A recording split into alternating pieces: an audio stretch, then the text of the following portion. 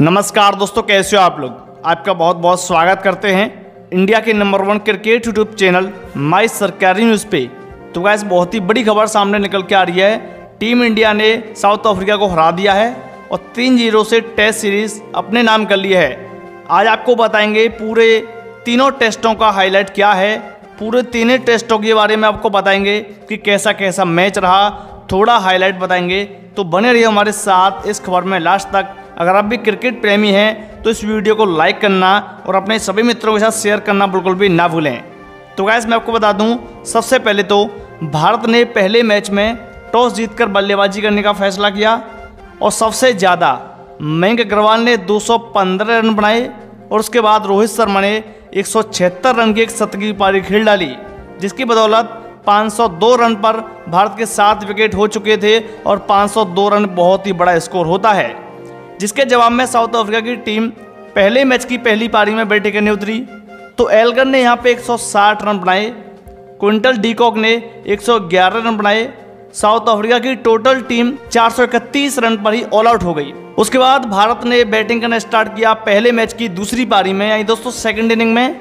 तो सबसे ज़्यादा यहाँ पर रोहित शर्मा ने एक सौ सत्ताईस रन बनाए। उसके बाद पुजारा ने इक्यासी रन बनाए।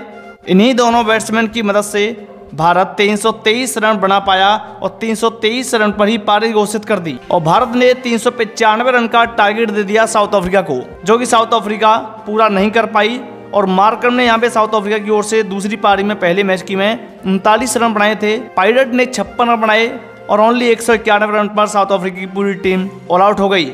और 203 रनों से भारत ने पहला मुकाबला अपने नाम कर लिया। उसके बाद बात करते हैं सेकंड मैच के बारे में।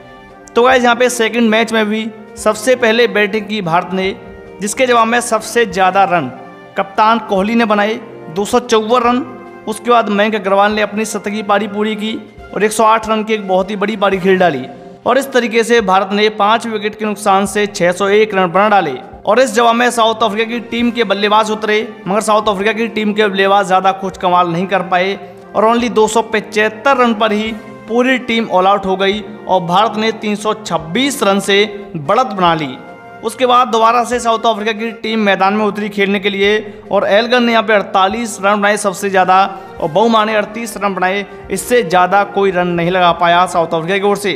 और ओनली एक सौ नवासी रन पर ही पूरी अफ्रीकन टीम ऑल आउट हो गई और भारत ने दूसरा मैच एक पारी एक सौ सैंतीस रन से अपने नाम कर लिया। और इसके बाद हम बात करते हैं तीसरे फाइनल टेस्ट मैच के बारे में।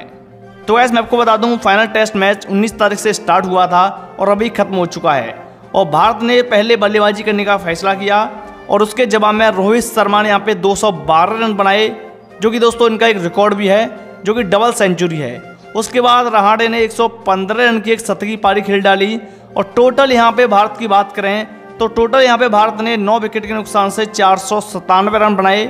और जिस जवाब में अफ्रीका की टीम ओनली एक सौ बासठ रन पर ही ढेर हो गई, हमजा ने बासठ रन बनाए, लिंडे ने सैंतीस रन बना पाए और एक सौ बासठ रन पर ही पूरी अफ्रीकन टीम ढेर हो गई। उसके बाद तीसरे मैच की दूसरी पारी में अफ्रीका की टीम दोबारा खेलने आई तो ब्रायन ने यहाँ पे 30 रन बनाए, लिंडे ने 27 रन बनाए और अफ्रीकन टीम फिर से यहाँ पे 133 रन पर ऑल आउट हो गई और भारत ने मैच एक पारी 202 रन से अपने नाम कर लिया।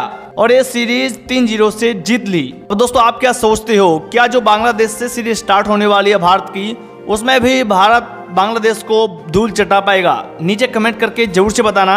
और ऐसी इंटरेस्टिंग खबरों को देखना चाहते हो और तो वीडियो के ठीक नीचे आपको लाल कलर में सब्सक्राइब वाली बटन नज़र आ रही होगी।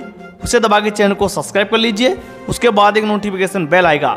उसे दबा के और नोटिफिकेशन पे क्लिक कर लेना है आने वाली वीडियो को सबसे पहले देखने के लिए। तो चलिए गाइस इस खबर में बस इतना ही था। मिलते हैं आपसे कुछ ऐसी इंटरेस्टिंग वीडियो में तब तक के लिए अपना ख्याल रखे देखते रहिए माई सरकारी न्यूज़